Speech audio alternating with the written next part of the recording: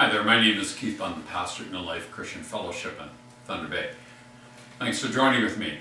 And this being the second Sunday in Advent, we're looking at the concept and the, the reality of peace. You know, last week we lit the candle of hope, uh, discussing the, the impact of hope on your life. Uh, the abundance of God's hope for you is so powerful, but yet I need to receive it.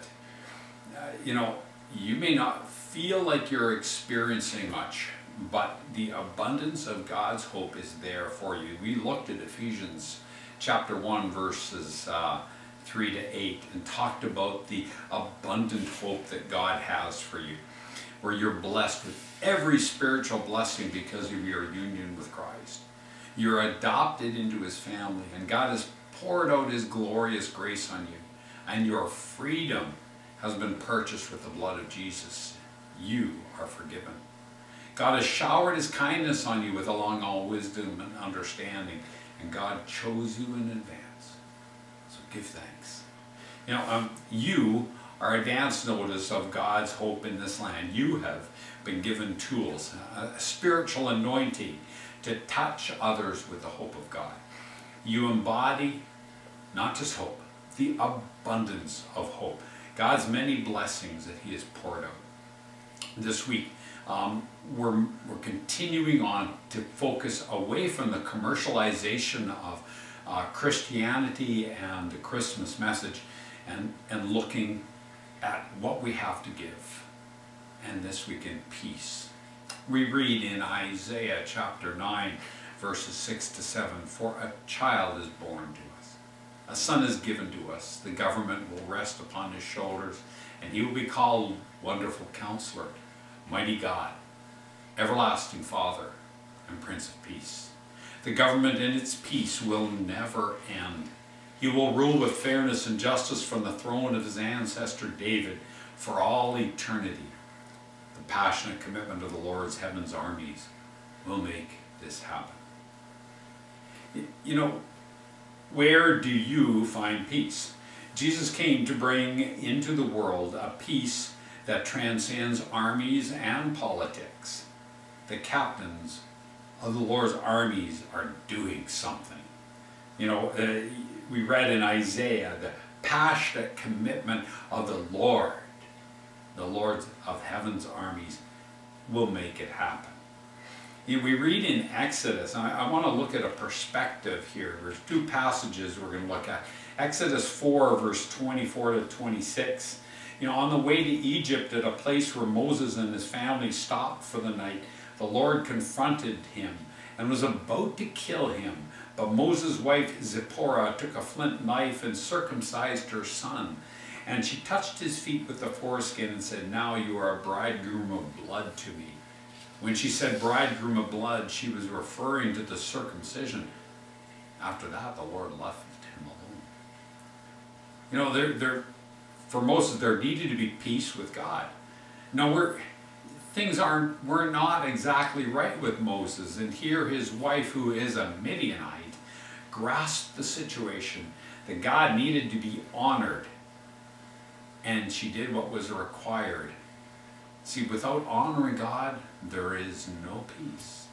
And then we read in Joshua 5, verse 13 to 15, that when Joshua was near the town of Jericho, he looked up and saw a man standing in front of him with a sword in hand. And Joshua went up to him and demanded, Are you friend or foe?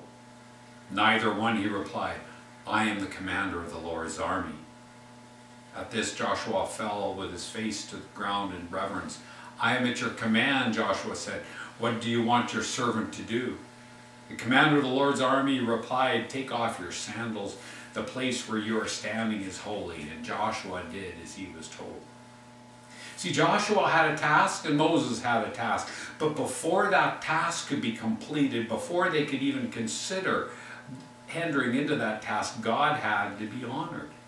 There's something about honoring God that brings peace into the relationship and then real peace to the soul to face whatever's on the other side. Honoring God comes before mission. Both of these men had received direct mission, words from God, yet there needed to be more. There needed to be devotion and honor. You know, we desire peace in our soul, but how do you how do you walk in peace when the circumstances around you are all crazy? We need this peace-filled focus. Uh, we're going to look at three stories. People, they describe people in tough situations. And in the midst of craziness and life circumstances, there can be peace when the focus is on the Lord. Daniel chapter 2, verse 12 to 18, we read that the king was furious when he heard this. He ordered all the wise men of Babylon be executed, and because of the king's decree, men were sent to find and kill Daniel and his friends.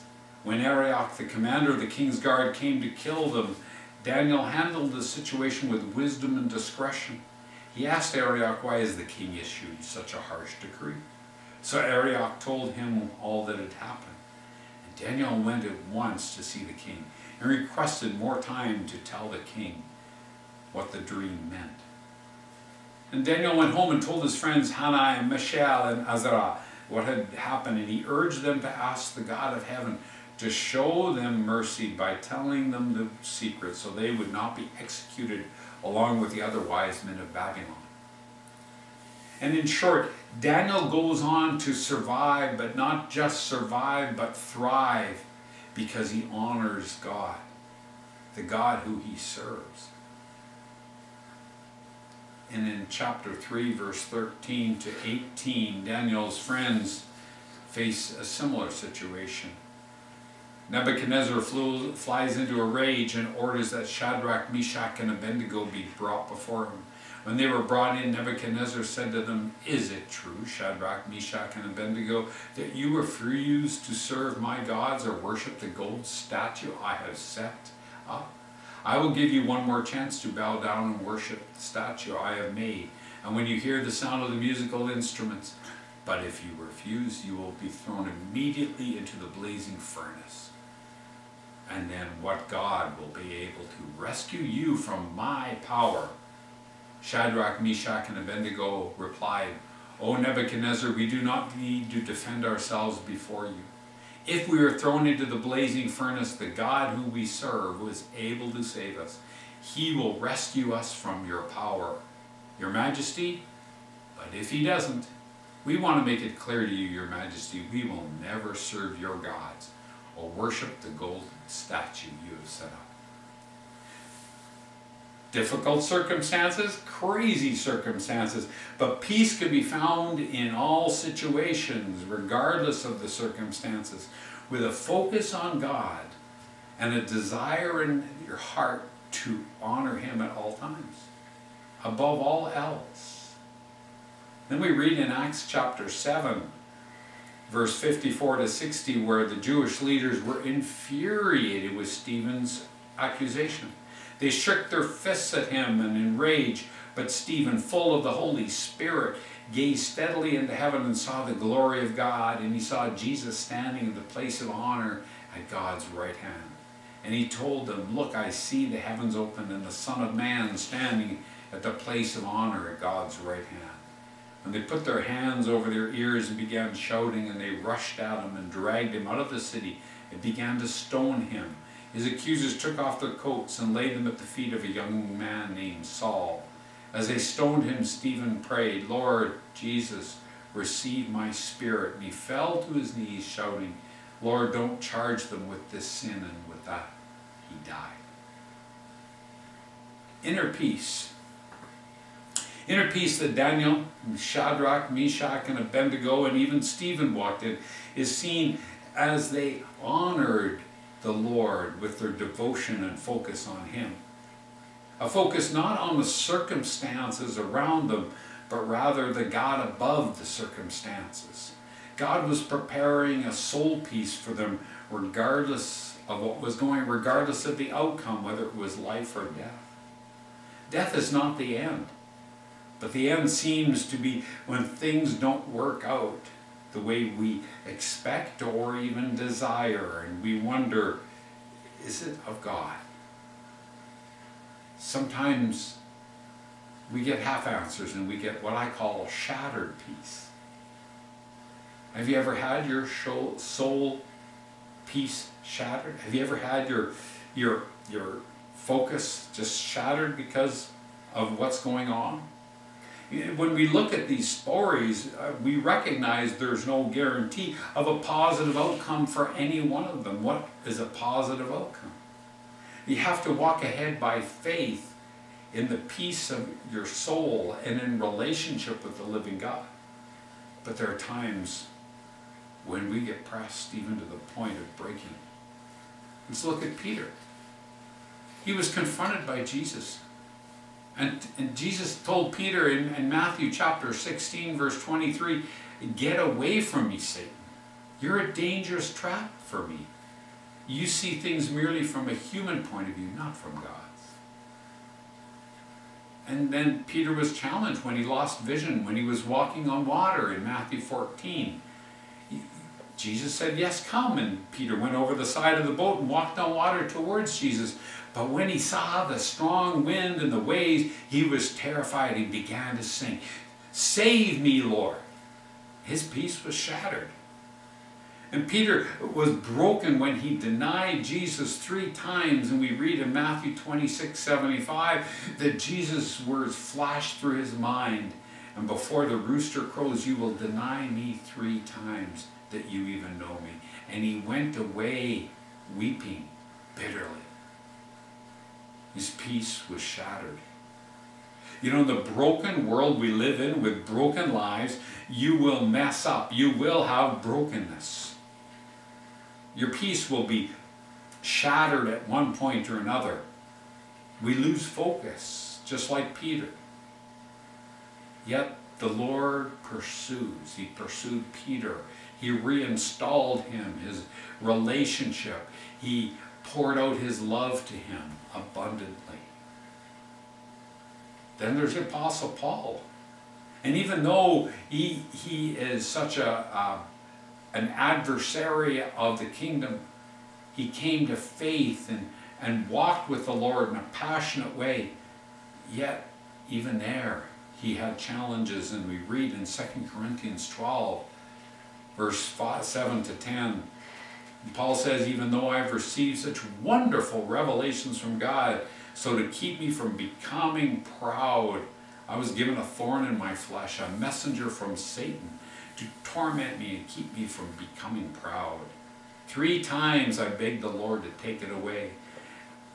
And each time he said, My grace is all you need. My power works best in weakness. So now I am glad to boast about my weakness, so that the power of Christ can work through me. That's why I take pleasure in my weakness and in the insults, hardships, persecutions, and troubles that I suffer for Christ. For when I am weak, then I am strong. You know, brokenness, as broken as we are, there's peace in God's grace. The circumstances don't change the, the presence and reality of God's grace. It, it brings comfort into our lives, but we just need to open our eyes and our hearts to it. So you can't see the grace of God until you need it, or so it seems. So where, where do you find peace? You know, Peace isn't the absence of noise. Peace isn't that nice cup of tea and a book or a cup of coffee and your favorite music playing. Peace is something that is deep within the soul. It's not the end of all wars. It's a, not a consensus between all races and political parties.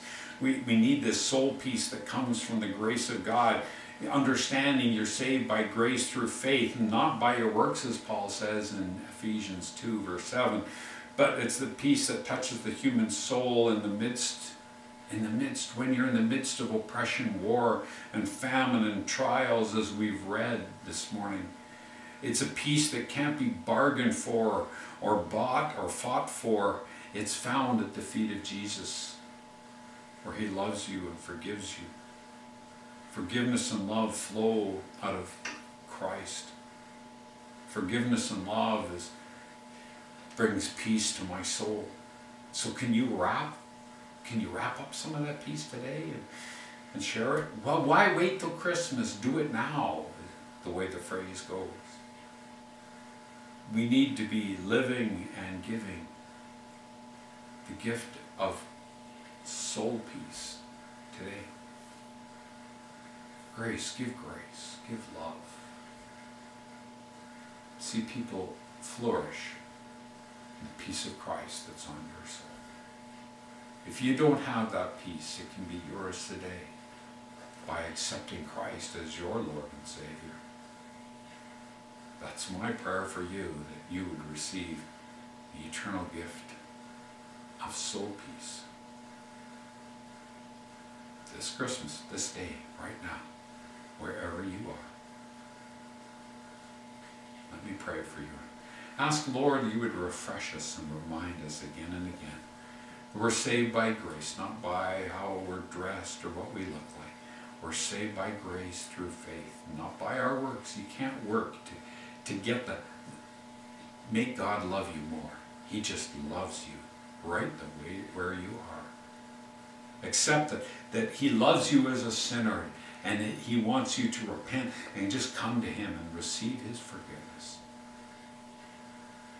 And I pray that you would refresh us with that amazing peace deep within our soul.